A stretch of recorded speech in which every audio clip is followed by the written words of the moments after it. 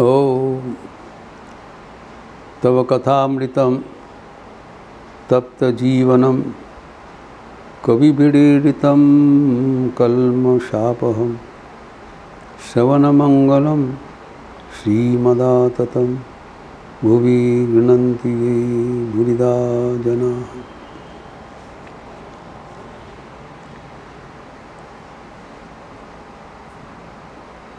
श्री श्री ठाकुर के सत्प्रसंग हम लोग चर्चा कर रहे थे, ठाकुर ने बताया, जितना आगे बढ़ोगे देखोगे सबके भीतर वही है।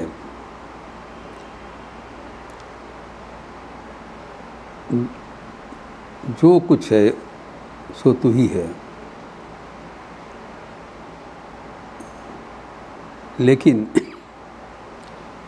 ये आखिर का अनुभूति है। जब तक वो अनुभूति नहीं होता है,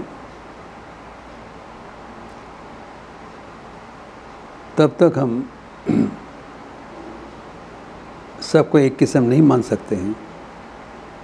इसके बारे में भी श्री ठाकुर के अद्भुत चर्चा है, जो भी इस प्रसंग में उल्लेखनीय है।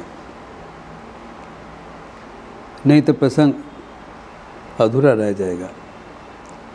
टॉपिक विल बिकम इनकम्प्लीट क्योंकि ठाकुर दूसरे जगह में इस प्रसंग में जो बोला है, वो भी इसके साथ मिला के हमें समझना चाहिए। अब याद रखिए, जब मास्टर माशा उनके ठाकुर के साथ तृतीय दर्शन का बात बोल रहे हैं श्री श्री कथा में तो प्रथम भाग, तृतीय परिच्छेद।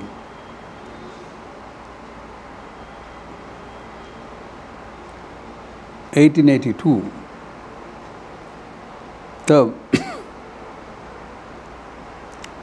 ठाकुर ने यही प्रसंग उठाकर स्वामी विवेकानंद के साथ बातचीत कर रहे थे।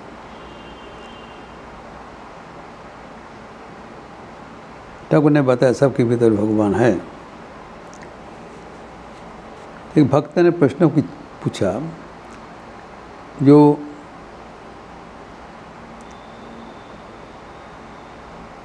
विषयात्मक बुद्धि है, विषय बुद्धि संपन्न है, एवं जो धर्मपरायण को अगर निंदा करते हैं तो हमें कैसे ग्रहण करना चाहिए? क्योंकि विषय शक्त व्यक्ति भी तो उसके भीतर भी तो भगवान है। What should be our reaction?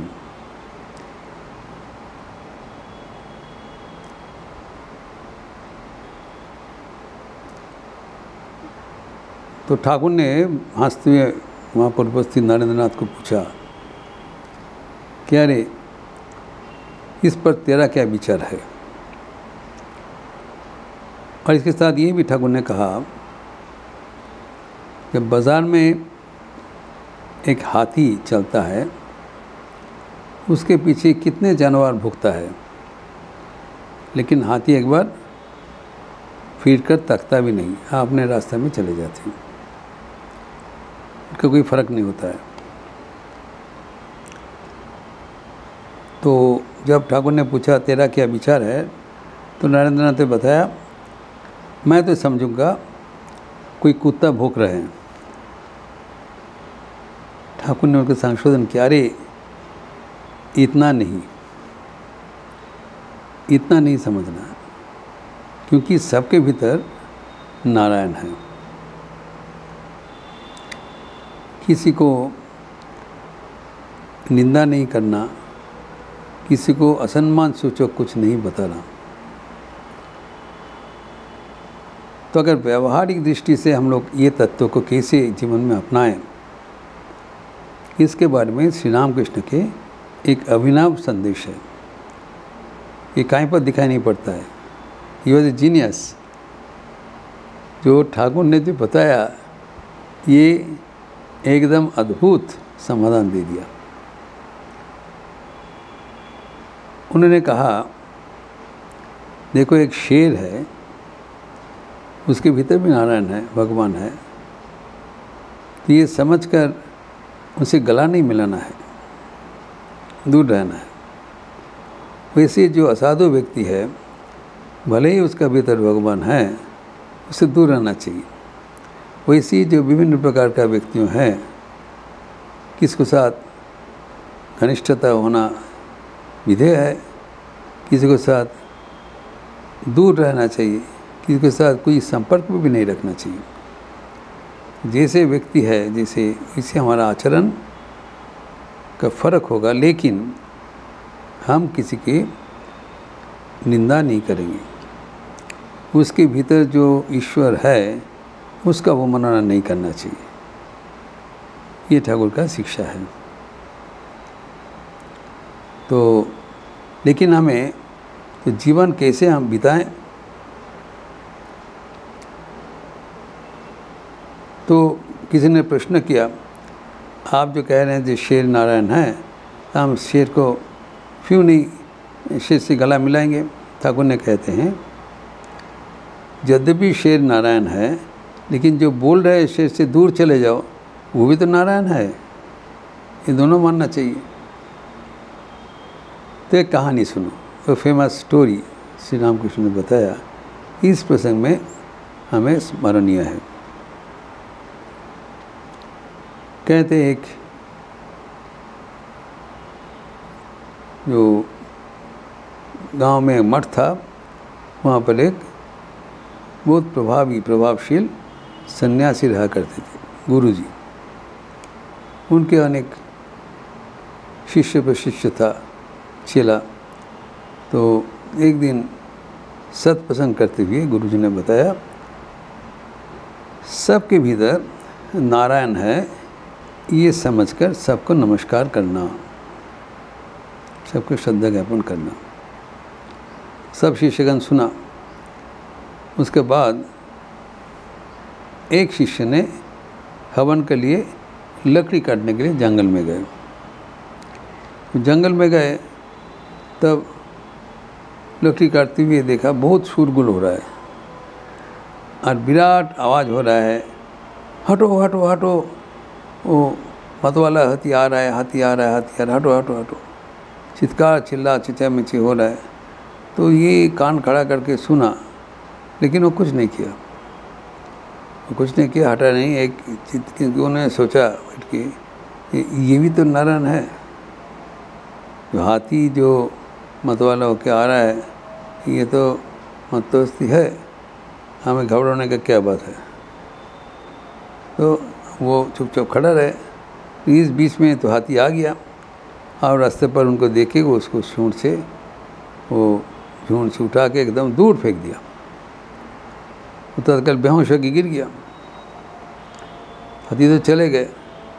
तो बाद में उसका आश्रम से उनको ढूंढते हुए कहाँ चले गए? ढूंढते हुए सब उन्होंने उनको साधु ब्रह्मचर्य बिंद आके उनको ढूँढने लगा। तो जब उस जगह में आया तब देखा बेहोश होकर पड़े अनेक सेवा शुश्रूषा किया। उनको जो करना था, अनेक प्रकार करने से उसका होश आ गया, तब उनको पकड़ के अपना आश्रम में लाए। जब आश्रम में आया, तब उनका आश्रमवासी गण गुरु जी बहुत सेवा शुश्रूषा किया। उनको जो होश वापस आया। तब शाम को गुरु जी उनके पास आए। जब उनको होश हुआ, तब उन्होंने पूछा, बेटा, क्या हुआ? तो उन्होंने बताया गुरु जी आपने बताया सबके भीतर नारायण है तो हमें एक हाथी आ रहा था तो हम नारायण समझकर हम पर खड़े रहे, लेकिन वो हाथी नारायण को दूर में फेंक दिया। तो वहाँ पर तुमको कोई हटने के लिए नहीं बोला। बोले, नहीं हाथी को जब महावत था जो महावत था, वो चिल्ला रहे थे, लगातार, हट जाओ हट जाओ। तो तब ठाकुर ने पूछा, देखो बेटा, तुम जो हाथी को नारायण समझ के तुम खड़े रहे, लेकिन जो महाबात वो भी तो नारायण है। उसके बाद क्यों नहीं माना? हाथी जैसे नारायण है वो महावाद भी नारायण है ना? तो जो असाधु व्यक्ति जिसे नारायण है और असाधु से, व्यक्ति से दूर जाने के लिए जो बोल रहे हैं, उसके भी चेतावनी सुनना चाहिए। ये ठाकुर का अद्भुत समाधान है। इसीलिए कह रहे हैं, जो और एक उदाहरण दे के कह रहे हैं, आप वो नारायण। सब पानी के भीतर ही नारायण है। लेकिन उसी समय कहते कोई पानी से आप नहा सकते हैं। कोई पानी से आप कपड़ा पी सकते हो, कोई पानी से आप पी सकते हो। सब एक किस्म का पानी नहीं होता है। तो जैसे जैसे पानी का क्वालिटी है, उसी अनुसार उसका बर्ताव होना चाहिए। लेकिन सबके भीतर नारायण समझकर जो कुछ पानी हम इस्तेमाल कर सकते हैं और कुछ पानी से हम तो हाथ मुँह धो सकते हैं, कुछ पानी के हम टच भी नहीं कर सकते। जो नाले का पानी है गटर का पानी होता है हम टच नहीं कर सकते। वैसे ही जो असाधु व्यक्ति है, कोई कोई व्यक्ति है, जिनसे आप सत्प्रसंग करते हैं, बातचीत कर सकते हैं, सत्संग कर सकते हैं। कोई कोई से आप से दूर रहना चाहिए। कोई कोई से आप सिर्फ़ वार्तालाप करना चाहिए। कोई कोई साथ बिल्कुल नहीं संपर्क रखना चाहिए। तो इसी करके लेकिन किसी को तिरस्कार या निंदा नहीं करना चाहिए। सबके भीतर भगवान समझकर हमारे जो जैसे जिसको साथ प्रयोजन, उसी अनुसार हमें चलना चाहिए। मतलब प्रैक्टिकल जो डेमोन्स्ट्रेशन इसके बारे में जो सीमा शारदा देवी का सुझाव, वो हमें याद रखना चाहिए कि उस परिस्थिति विचार करके व्यवहार होना चाहिए। तो ये जो सबके भीतर नारायण है, वो आपको जीवन में प्रयोग करने के लिए जब तक वो दर्शन नहीं होता है तब तक भेदभाव ना रखते हुए जीवन में चलना चाहिए, नहीं तो जीवन में अनेक अनिष्ट हो सकता है। ये ठाकुर हमें चेतावनी दिया दे दे रहे हैं। इसको प्रसंग और भी आगे बढ़ाने के लिए अगले दिन चर्चा करें ओम शांति शांति शांति हरि ओम तत्सत। श्री रामकृष्णार्पणमस्तु आज शनिवार का अवसर है। मधुवार है संध्या के उपरांत काली कीर्तन।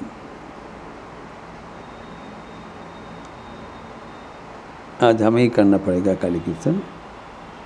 आप अब सबका स्वागत है। लिपि दिया जाएगा।